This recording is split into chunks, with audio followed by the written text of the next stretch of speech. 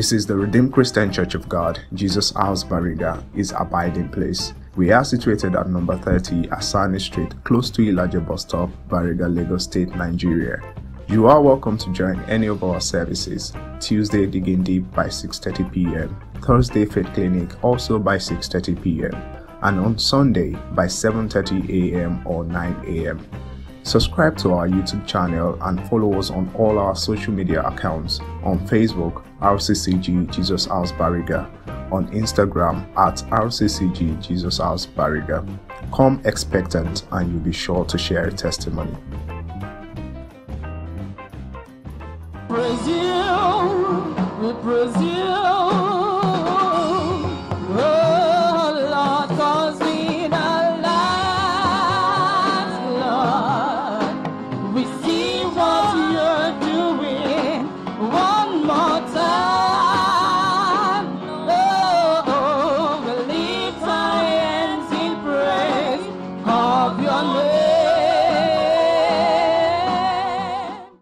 Be to God for the gift of life. I want to welcome everyone to this Digging Deep service of the Redeemed Christian Church of God, Jesus House, Area 19, Lagos Province 44.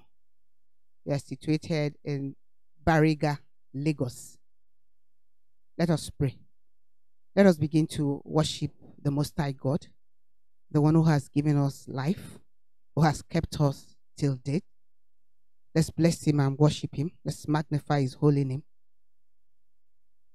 Let's tell him that we have confidence in him that he is God alone and he is able to keep us till the very end. Father, we bless your name. We exalt you. We magnify your holy name. We worship you. We declare that you are God. Blessed be your holy name. We bless your name, O Lord, and we confess you that you are the Lord. Bless your name. We bless your name, O Lord, and we confess you that you are the Lord. Our Father and our God, we bless your holy name. We magnify you. We confess that you are God alone. We magnify you because you are the one who uses the heavens as your throne and the earth as your footstool. You are mighty. You are the mighty man in battle. We worship you, for there is none like unto you. We thank you for the gift of life. We thank you for the opportunity even to look into your words this evening. As we do so, we ask for understanding by the power of the Holy Spirit. Thank you for as many as are listening. Thank you for as many as are watching. And we pray that together, Lord God Almighty, you will let your word help us tonight, but will not condemn us. You cause us to be doers of your words in the mighty name of Jesus. For in Jesus' mighty name we have prayed. Amen. Praise the Lord. Once again, I want to welcome you to the Digging Deep service, in which we look into the uh, scriptures to learn one or two things that the Lord wants to say to us. Today, we're going to be asking ourselves a question. And the question is In what coin or what manner of coin? Depend on what you want to call it, but it's a question that we're asking tonight. And we'll be taking our text from Romans 12, 9 to 21. Romans 12, 9 to 21. I read. Let love be without dissimulation. About that which is evil, cleave to that which is good. Be kindly affectioned one to another with brotherly love, in honor preferring one another, not slothful in business, fervent in spirit, serving the Lord, rejoicing in hope, patient in tribulation, continuing instant in prayer, distributing to the necessity of saints, given to hospitality. Bless them which persecute you, bless and curse not. Rejoice with them that do rejoice, and weep with them that weep. Be of the same mind one toward another. Mind not high things, but condescend to men of low estate. Be not wise in your own conceits. Recompense to no man evil for evil. Provide things honest in the sight of all men. If it be possible, as much as lieth in you, live peaceably with all men. Dearly beloved, avenge not yourselves, but rather give place unto wrath. For it is written, Vengeance is mine, I will repay, saith the Lord. Therefore, if thine enemy hunger, feed him. If he thirst, give him drink. For in so doing, thou shalt heap burning coals, heap coals of fire on his head. Be not overcome of evil, but overcome evil with good. That scripture that we have just uh, taken talks about how we relate with people. And the question we uh, want to ask us tonight, which we'll be addressing as we go on, is how would you treat those who treated you badly? How would you respond to those who reject your hands of fellowship? How would you relate with those who hate you for seemingly no cause? How would you respond to them? In all this context, it is human to want to treat people the same way that they have treated you. It is natural to want to give meanness for meanness, rejection for rejection, hate for hate. It is called paying, paying them in their own coin. Or some people will say, you even the score. So you're on the same level. But what does Christ expect of us? Are we expected to pay people in their own coin? Or are we expected to pay, I mean, to pay back in Christ's coin? If there- there's something we can call Christ's coin, is that what we're supposed to do? We want to look through the scriptures and see how God can help us tonight in the mighty name of Jesus. And I want us to look at uh, Matthew 5 46. Matthew 5 46 and 47 says, For if ye love them which love you, what reward have ye? Do not even the publicans the same? And if you salute your brethren only, what do ye more than others? Do not even the publicans so? You know, the publicans in the days of our Lord Jesus Christ were tax collectors. You know, the Jews of that time did not like them.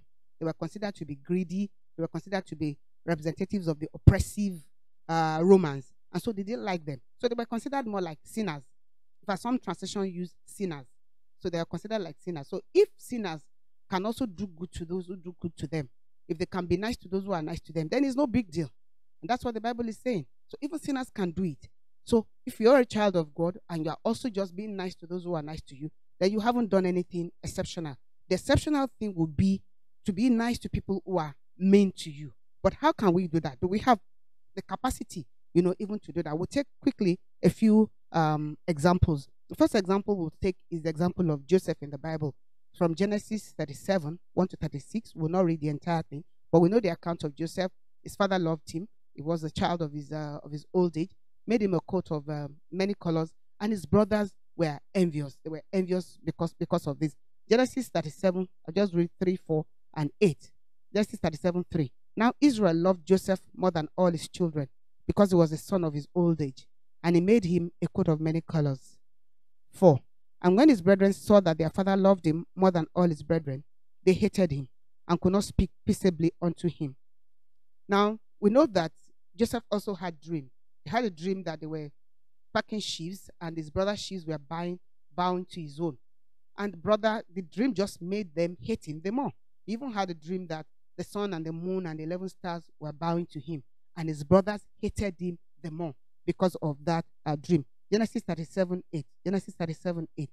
And his brethren said to him, Shall thou indeed reign over us, or shalt thou have dominion over us? And they hated him yet the more for his dreams and for his words. So after the second dream that he had, they even added, you know, to the hatred, they even envied him. Bible says in Genesis 37 11, after it says, and his brethren envied him, but his father observed the same. So we can see some of the reasons why they were not at peace with him. He had a dream of dominion. Yet, you know, he was very young, but he had a dream that his brothers were going to bow to him. And they envied him, they hated him, they couldn't speak peaceably with him. But it was not his fault that he was born in old age. It was not his fault that his father loved him and everything. Yet they hated him. We know the account. He ended up in the palace, you know, because of the famine. Um, and then his brothers also came to Egypt in search of grains, and they eventually uh, met him. Let's see how how did uh, Joseph react. I mean, if I were in the shoes of Joseph, how would I have reacted to these people who sold me out? In fact, who had given me up for dead, you know, and then sold me out. How would you also have reacted? Let's see how Joseph reacted. Genesis 45 3.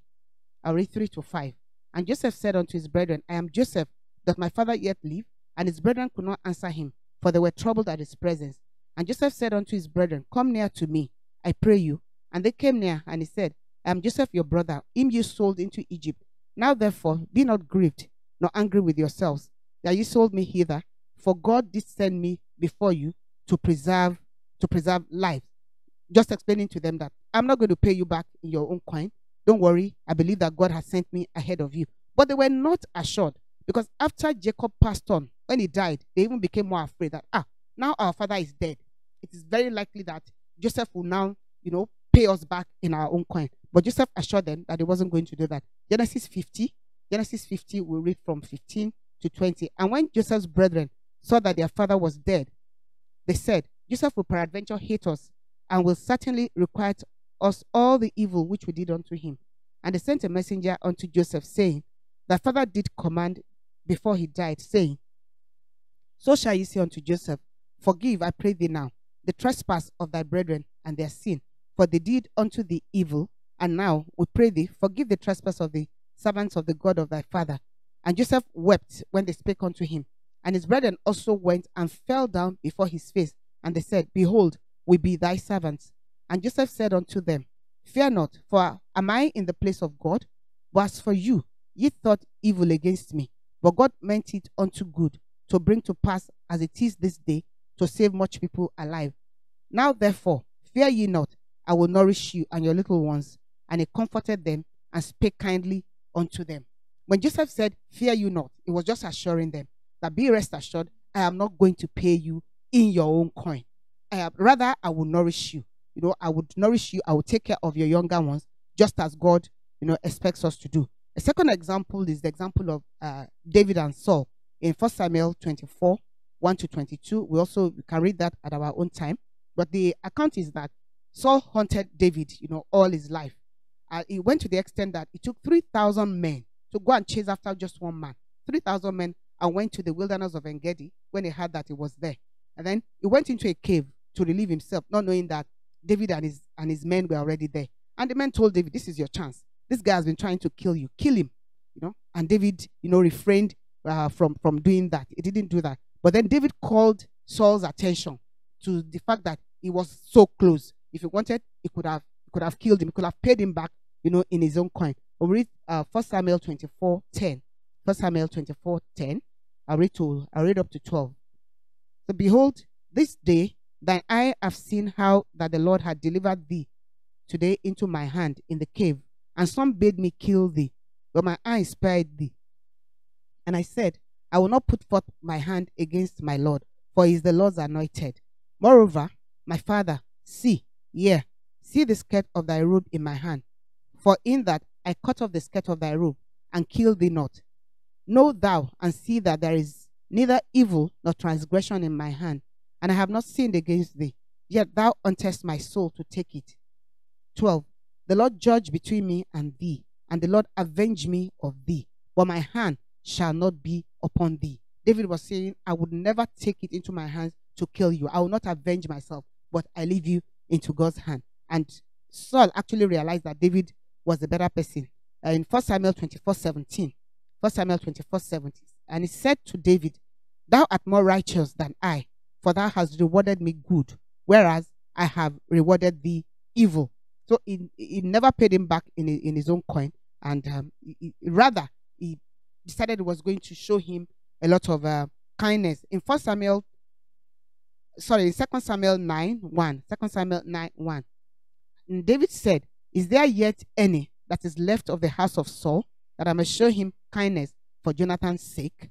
No one would not have expected that to be David who would now be seeking out somebody from the house of Saul after the destruction, now to, to reward the person, to honor the person. But David did the exact opposite of what Saul was doing for him. He watched out for his interest even after he had ceased to be. Praise the Lord. That is what the Lord expects of us. Then we'll take two examples from the New Testament. Um, the example of Stephen in Acts 7. The story actually starts from Acts 6, you know, when Stephen was preaching, espousing the gospel to all the people there. And as it was going on, they became angry with him at what he was saying. Then in Act 7, they started to stone him. Act 7, I'll read 59 and 60. Act 7, 59 and 60. And they stoned Stephen, calling upon God and saying, Lord Jesus, receive my spirit. And he knelt down and cried with a loud voice, Lord, lay not this sin to their charge. And when he had said this, he fell asleep. At that point, because Stephen had seen heaven, he could have asked God for anything. He could have asked that the ground open and swallow them. He could have asked for deliverance or anything. He didn't. But he just said, Lord, you know, forgive them. He was actually praying for them. He was interceding for them. What manner of coin would you have, you know, paid these people back if you had been in Stephen's uh, shoes? And then what about our Lord Jesus Christ? The account is in um, Luke 23, 1 to 56. It's also a very lengthy one. We can read it up in our own time. Uh, in that account is the account of the crucifixion of our Lord Jesus Christ. He was without sin, yet the people asked that the one who was without sin be slain, and that the one who was a murderer and a thief, Barabbas, should be released unto them. He was scourged, you know, he was whipped, he was mocked, he was reviled, he was crucified, yet he did not utter any uh, negative word. In Luke 23 34, Luke 23 34, then said Jesus, Father, forgive them, for they know not what they do. And they parted his raiment and cast lot. Christ prayed, you know, rather than uh, curse um, anyone. And then in referring to the attitude of Christ in Isaiah 53 7, Isaiah 53 7, we see how the scriptures uh, referred prophetically to what um, Christ did. It says, He was oppressed and he was afflicted, yet he opened not his mouth. He is brought as a lamb to the slaughter, and as a sheep before her shearers is dumb. So he opened not his mouth.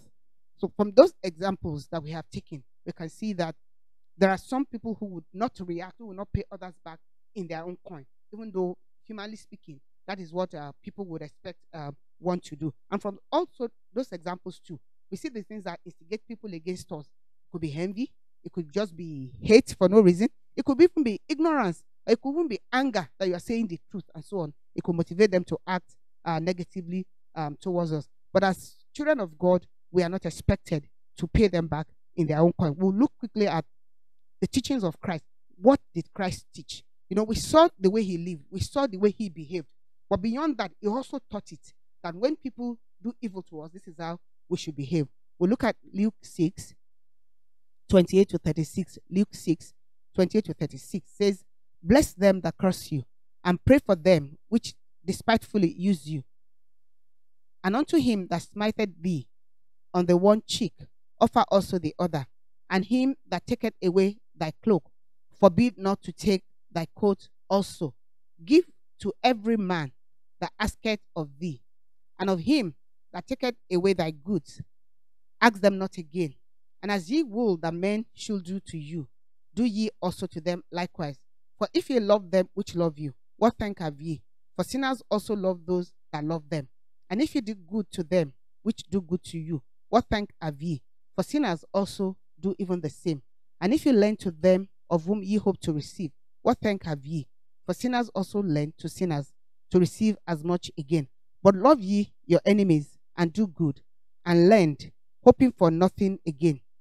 And your reward shall be great, and ye shall be the children of the highest.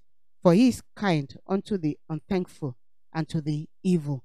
Be ye therefore merciful, as your Father also is merciful. That is the teaching of our Lord Jesus Christ on how we relate with people when they relate negatively with us. We'll take a couple of lessons from that teaching that uh, Jesus Christ uh, did. We're going to look at certain lessons that we can learn from that admonition of our Lord Jesus Christ. And the first one is on forgiveness. Is on forgiveness. We are supposed to forgive others. We can see from that admonition of our Lord Jesus Christ forgiveness is essential. Ephesians 4:32. Ephesians 4:32. And be ye kind one to another, tender-hearted, forgiving one another, even as God for Christ's sake has forgiven you. In other words, you do as you do yourself a world of good when you forgive others. You know, because we have first of all received forgiveness from God. So when you are also forgiven, you're opening way even for you to receive more uh, forgiveness. And once you have forgiven, it's easier for you not to think of paying the person back in his own coin. It's when you have not forgiven that you, you you you want to pay back you know, in their own coin. When you forgive other people, you are also opening up yourself for forgiveness. As we see in Matthew 16, sorry, Matthew 6, 14 and 15. Matthew 6, 14 and 15 says, For if you forgive them their trespasses, your heavenly Father will also forgive you. But if you forgive not men their trespasses, neither will your Father forgive your trespasses. And then we have another, uh, we have several scriptures on forgiveness. Mark 11 25. Mark 11 25. And when you stand praying, forgive, if you have aught against any, that your Father also which is in heaven may forgive you your trespasses. But if you do not forgive, neither will your Father which is in heaven forgive your trespasses. So I've read 25 and 26. Then Luke 6 37. Luke 6 37 says, Judge not, and ye shall not be judged. Condemn not, and ye shall not be condemned.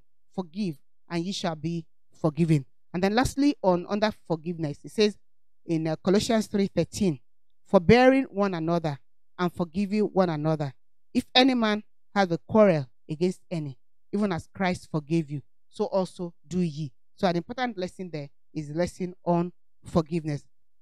Uh, the second lesson we're learning from the admonition of Jesus Christ is not retaliating, you know, because vengeance belongs to belongs to God. We look at a, a couple of uh, scriptures talking about uh, vengeance as God's own uh, prerogative. Uh, Deuteronomy 32, 35. Deuteronomy 32, 35 says, To me belongeth vengeance and recompense. Their foot shall slide in due time. For the day of their calamity is at hand, and the things that shall come upon them make haste. We also have in um, Leviticus 19, 18 says, Thou shalt not avenge, nor bear any grudge against the children of thy people, but thou shalt love thy neighbor as thyself. I am the Lord. I am the Lord. All the scriptures we are looking at on vengeance is just simply saying, Don't take my place. God is saying, Don't take the place of God. I would revenge. It's mine. It's not yours to, to do. And Proverbs 20 22. Proverbs 20 22 says, Say not thou, I will recompense evil, but wait on the Lord, and he shall save thee. So don't take it into your hands. Wait for God to do it. Proverbs 24 29. Proverbs 24 29. Say not, I will do so to him as he has done to me. I will render to the man according to his work. That scripture is just encouraging us the opposite way that the world is talking about. Do, you know, as you have done unto me, I want to do unto you. He says, No, don't say that you will do unto someone what they have done unto you. And in the New Testament, you have quite a number, but we'll just look at two of them. Romans 12, 19. Romans 12, 19 says, Dearly beloved, avenge not yourselves, but rather give place unto wrath. For it is written, Vengeance is mine, I will repay, say, saith the Lord. And in 1 Peter 3, 9, 1 Peter 3, 9 says, Not rending evil for evil, or railing for railing, but contrariwise blessing, knowing that ye are thereunto called, that ye should inherit a, a blessing. Praise the Lord. So we are not to um, take vengeance because it's not for us. First Thessalonians 5.15 also says the same thing. First Thessalonians 5.15 says, See that none render evil for evil unto any man, ever follow that which is good, both among yourselves and to all men. Praise the Lord. From the admonition of our Lord Jesus Christ, another lesson we are learning, we've learned about forgiveness, we've learned about not taking vengeance. The third one we are learning is about love. Love, it's very important. In the absence of love, you would just act towards that person the way the person has acted, you know, um, towards you. But where there is love, you would not um, act contrary. And what does the Bible encourage us in Luke 6 35? Luke 6 35. It says, But love ye your enemies and do good and lend, hoping for nothing again, and your reward shall be great, and ye shall be the children of the highest, for he is kind unto the unthankful and to the evil. And then in First Peter 4 8, First Peter 4 8, the this this one is from the NIV, the New International Version. It says, above all, love each other deeply, because love covers a multitude of sins. So love is uh, very important. Col- Colossians 3:14. Colossians 3:14 says, and above all this, put on love, which binds everything together in perfect harmony. Then in uh, First Corinthians 16 14, 1 Corinthians 16:14 summarizes everything and says, Let all that you do be done in love. So you can't have love there and then you say you are retaliating, you know, against uh, a person. John 13 34, John 13, I'll read 34 and 35. It says, A new commandment I give unto you, that ye love one another as I have loved you, that ye also love one another. By this shall all men know that ye are my disciples if ye have love one to another. In other words, we are disciples of Jesus Christ, is encouraging us, admonishing us to love one another, especially those who are of the household of faith. We are to love one another, and even those who are not. Our own duty is to love them. The Bible says we should not owe anybody anything but love that we're to show to them. And in First John 4:19, 1 John 4:19, it says we love him because he first loved us. We have received love from Christ, and so that same love, you know, we extend back to him and then back to our fellow human beings because he first loved us. And First John 4 7 and 8. First John 4 7 and 8. So, beloved, let us love one another, for love is of God, and everyone that loveth is born of God and knoweth God. He that loveth not knoweth not God, for God is love, forgiveness, not taking vengeance, and love. We still have a fourth lesson that we can learn, and that is being merciful. Being merciful, which is one of the things that the Lord Jesus Christ is teaching us. We saw it in that text we read in Luke 6 36. Luke 6 36 says, Be ye therefore merciful, as your Father also is merciful. And in Matthew 5 7, Matthew 5 7 says, Blessed are the merciful, for they shall obtain mercy. So most times when we do all of these things, we're also helping ourselves because when I show mercy, then it means that I will also receive uh, mercy. And knowing that we had already received uh, mercy of the Lord, we are also bound to show mercy to show mercy to other people. Lamentations 3 22. Lamentations 3 uh, 22 says, It is of the Lord's mercy that we are not consumed, because his compassions fail not. And 23 says, They are new every morning. Great is thy faithfulness. Hallelujah. Hallelujah. So we can also learn something else we can also learn from that lesson is forbearing, forbearing with one another. Colossians 3:13. Colossians 3:13 says, forbearing one another and forgiving one another. If any man have a quarrel against any, even as Christ forgave you, so also do ye. So also do ye. In all of these uh, questions we've been asking about what manner of coin are we going to pay people back, you know, when they act towards us in a, in a way that is not uh, very good. One of the things that, one of the lessons we can learn is that we're to conform to the image of Christ. We saw the example of Christ and then we heard the teaching of Christ. We're to conform to the image of Christ. In uh, 1 Peter 2.23, 1 Peter 2.23, the Bible describing our Lord Jesus Christ said, Who, when he was reviled, reviled not again.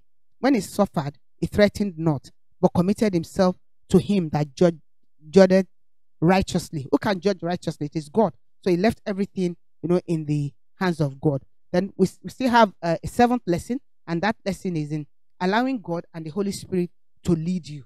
If you allow God and the Holy Spirit to lead you, you'll not be given to retaliating, you'll not be given to paying, seeking to pay people back in their own coin. It's natural to want to pay people back in their own coin. But if you're not, you know, no longer the natural man, you're allowing the Holy Spirit to lead you, then you will not be doing what the world is saying. It's a recommendation of the world. You can find it, you say tit for tat. That's what it means. It means paying back in their own coin, getting even. That is the recommendation of the world. But what does the Bible encourage us to do? It encourages us not to, you know, be conformed uh, to this world. Um, Romans 12, 2. Romans 12, 2. It says, And be not conformed to this world, but be ye transformed by the renewing of your mind, that ye may prove what is that good and acceptable and perfect will of God. You can't do it on your own. You know, you can't do it. If you wanted to do it the way of the world, then you just do what everybody is doing. But the Lord God Almighty can help you, you know, to do that which He wants you to do. When your mind is renewed, then you can prove that one that is good and that is acceptable and that is the perfect uh, will of God. Then lesson number eight from uh, the teaching of Christ is that we can, when we don't react to people the way they have reacted to us, we're showing them that indeed we are new creatures. We are showing them that yes, I could have been getting angry in the past, I could have been getting even, but I'm a new being and I will no longer you know, get even. I just let it go. Not that it's easy, but God is helping me to let it go. Second Corinthians 5:17. 2 Corinthians 5:17. Therefore, if any man be in Christ, is a new creature. All things are passed away. Behold, all things all things are become uh, new. And then it also shows that you are spirit controlled, uh, as we can see in Romans 8:14. It says, "For as many as are led by the Spirit of God, they are the sons of God." So if you're a child of God, then you are led by the Spirit of God. It's all about being Christ-centered. Nobody can do it on his own or on our own. When somebody hurts you, it's very the most natural reaction is to say, "I want to hurt you back." But when Christ rules in your heart, when the Spirit leads you, He helps you. It might be painful, but He helps you. Painful to you that oh, I, I can't do this bad to this person, but God helps you. He helps you to get over it, and I pray that He will help us in Jesus' name. Now, lastly, the lesson we are learning from this, this is the tenth one, is that when we don't pay people in their own coin, it shows to us what we are seeing. It shows what you are seeing. What are you seeing? What can you see beyond the person who is hurting you? It shows that you are looking beyond that person and you are seeing far ahead of what that person can see. Look, at the examples we are taking earlier. Joseph saw beyond his brother's meanness to him. He saw the hand of God in the fulfillment of the plan and purpose of God for his life. He said, You thought you, you meant it for evil. In Genesis 50 20, he said, You thought you were doing evil against me, but God meant it for good to bring this day to come to pass. He saw the hand of God. He saw the hand of God. What did David see? David saw beyond Saul's persecution. He saw the need to not to sin against against God, to obey the word of God. In 1 Samuel 24 5, 1 Samuel 24 5, uh, it says, And it came to pass afterward that David's heart smote him because he had cut off Saul's skirt. 1 Samuel 24 6. And he said unto his men, The Lord forbid that I should do this thing unto my master, the Lord's anointed, to stretch forth my hand against him. Seeing is the anointed of the Lord. Why did he behave this way? He had in mind, you know, God's instruction as given to us in First Chronicles 16 22, saying, Touch not my anointed and do my prophet no harm. That same instruction is also repeated in Psalms 105 15, saying, Touch not my anointed and do my prophet no harm. So once you keep the word of God in your heart, seeing beyond that person doing evil to you, you'll be helped, you know, not to pay the person back in his own coin. What about Stephen? Stephen saw beyond the terrestrial uh, realm. He saw the heavens open. He even saw the Son of God. He saw Jesus, you know, standing on, on, on the right hand. And so he just had to, he looked beyond the people who were stoning him because what he saw, they couldn't even see. Acts 7.55. Acts 7.55 says, But he, being full of the Holy Ghost, looked up steadfastly into heaven and saw the glory of God and Jesus standing on the right hand of God. And 56, and said, Behold, I see the heavens opened and the Son of Man standing on the right hand of God. And that was the point at which they cried against him. 57. Then they cried out with a loud voice and stopped their ears and ran upon him with one accord. Praise the Lord. What about our Lord Jesus Christ? Our Lord Jesus Christ saw beyond the shame of the cross. He saw beyond all that they were doing to him. He saw the joy, you know, that was ahead of him. Not that he could have, uh, he couldn't have refused, you know, to drink the cup or to go on the cross. He had the power to, but he, he knew that joy was awaiting him. He knew that victory was awaiting him. So he endured the cross according to Hebrews 12 2. Hebrews 12 2. Looking unto Jesus, the author and finisher of our faith, who for the joy that was set before him endured the cross, despising the shame, and he sat down at the right hand of the throne of God. He went ahead, he got uh, victory, and it was because he got victory that we also have the ultimate uh, victory that he has uh, given unto us. And Philippians 2 5 to 11, Philippians 2 5 to 11 showed us that Christ was actually very meek because he could have used his authority to punish them, but he did not do that. I read Philippians 2 5 to 11. It says, Let his mind be in you, which was also in Christ Jesus, who, being in the form of God, thought it not robbery to be equal with God, but made himself of no reputation, and took upon him the form of a servant, and was made in the likeness of men. And being found in fashion as a man, he humbled himself and became obedient unto death, even the death of the cross. Wherefore, God also hath highly exalted him and given him a name which is above every name, that at the name of Jesus every knee should bow, of things in heaven and things in earth and things under the earth, and that every tongue should confess that Jesus Christ is Lord to the glory of God the Father. Hallelujah. So when you see the bigger picture, you'll be able to forgive in line with the word of God. And so, as we uh, conclude, I want to also ask us some questions again. When we act differently uh, to people's attitude towards us, if we don't pay them in their own coin, what are we showing? You're just showing that you are different. You're showing that you're set apart. You're showing that you're showing the stuff of which you are made. You're showing the kind of person that you are. As uh, Jeremiah 1 5 tells us, Jeremiah 1 5 says, Before I formed thee in the belly, I knew thee. And before thou camest forth out of the womb, I sanctified thee, and I ordained thee a prophet unto the nations. Prophet unto the nations. So it was different right from the womb. So you're showing that you are different. You're also showing that you, you, are, you have not lost your savor, you know, as salt. Matthew 5 13. Matthew 5 13 says, Ye are the salt of the earth. But if the salt have lost its savor, wherewith shall it be salted? It is therefore good for nothing, but to be cast out and to be trodden under foot by men. And still in the line of showing that you are different, we recall to mind 1 Peter 2 9. 1 Peter 2 9 says, But ye are a chosen generation, a royal priesthood, an holy nation, a peculiar people, that ye should show forth the praises of him who has called you out of darkness into his marvelous light. So you're just showing that you are different. You are, you are a different species. You are a different being because of Christ who is in you. You're showing also that greater is he that is in you than he that is also uh, in the world, as we find in First John 4 4. First John 4 4 says, Ye are of God, little children, and I overcome them, because greater is he that is in you than he that is in the world. They might be showing, you know, the stuff they are made of, meanness, hate, but you are showing the stuff you are made of, that is love, you know, that is within you, and that Christ is also within you. But then, when we don't um, succeed, you know, in not paying people back, because it's not all the time that you succeed. It's only by the grace of God that you can succeed. Some will say, well, let, let me just do it for them this last time. Let me just retaliate this last time. When you do that, you're coming to their level.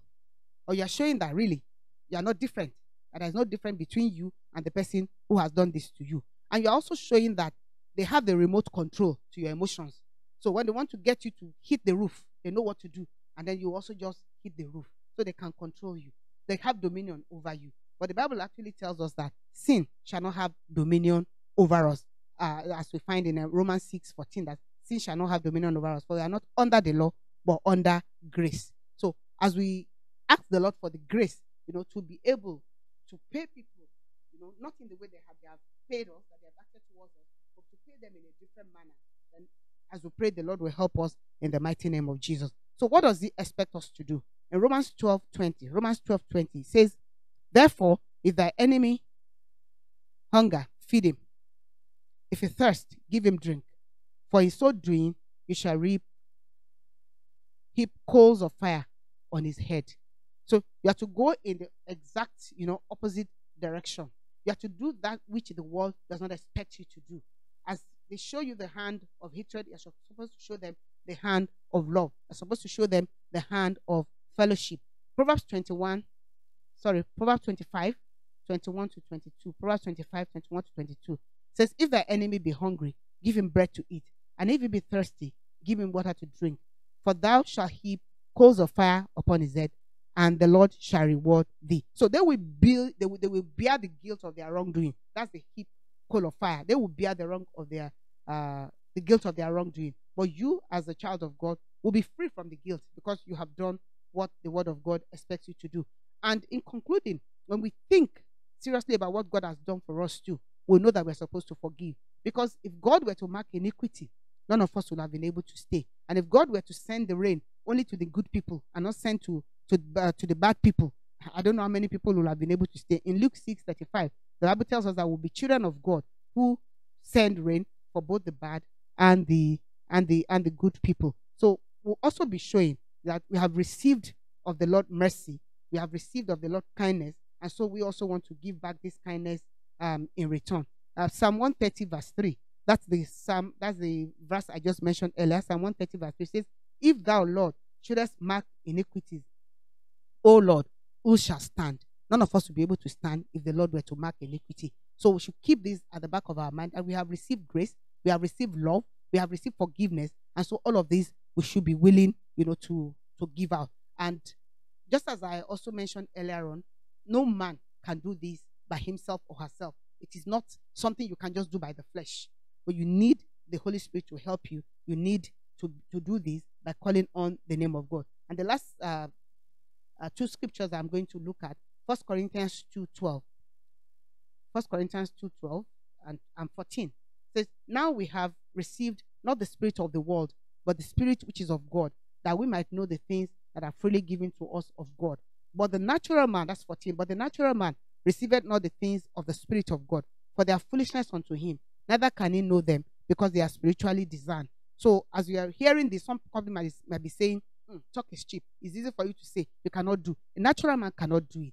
It's only by the Spirit of God that you can do it. And so we are encouraging us to allow the Holy Spirit to fill your heart, you know, so that to enable you, to empower you, so that you can you can do this. And lastly, Romans 8, um, 8 and 9. Romans 8, 8 and 9 says, So then they that are in the flesh cannot please God. But ye are not in the flesh, but in the spirit. If so be that the spirit of God dwell in you. Now, if any man have not the spirit of Christ, he is none of his. Praise the Lord. If you have not the spirit of Christ, then you are none of his. Peradventure, there is a listener today who does not have the spirit of Christ. This is the appropriate time to just bow your head and begin to say, Lord Jesus, I want you in my life. I want your spirit. You can't have the spirit of Christ if you do not have Christ himself. So you can bow your head and begin to invite him into your heart. You know, yield the throne of your heart to him and call him and say, Lord, come and be my personal Lord and Savior. I yield it all over to you. If you are saying that prayer, you are inviting the Lord into your heart. That's when He can come in. That's when He can, His Spirit, He can give to you. And that's when you can yield. You can receive His forgiveness. And then you are going to be able to be able to forgive other people and not seek to hurt those who have hurt you. And if you're a child of God, you already know the Lord Jesus Christ, but you still have some difficulty, you know, not paying people back in their own coin. The Lord is speaking to you today and saying, Child, trust me. When He says, forgive, He knows what He's saying. It's for your own benefit. So I want us to just pray together and begin to say, Father, help me. I cannot do this on my own. Help me. Give me the grace. Give me the grace to forgive just as I've been forgiven, to love just as you have loved me. Give me that grace, oh Lord God. Begin to ask the Lord for that grace.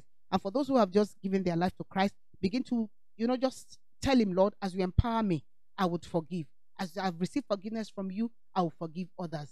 I'll forgive others. And as we pray, let's just begin to round up our prayer, and the Lord will answer our prayers in the mighty name of Jesus. Let us pray. Our Heavenly Father, we want to say thank you for today. We want to thank you for the grace to look into your word. We want to thank you because you have spoken to us about forgiveness, about love, about being merciful, about being kind to one another, about being Christ like. Lord, we know that we cannot do all of this on our own. And so we receive your grace at this hour. Give us your grace, O Lord God, to conform to your own image in the mighty name of Jesus. Help us on this race, O Lord God, that will not fall by the wayside.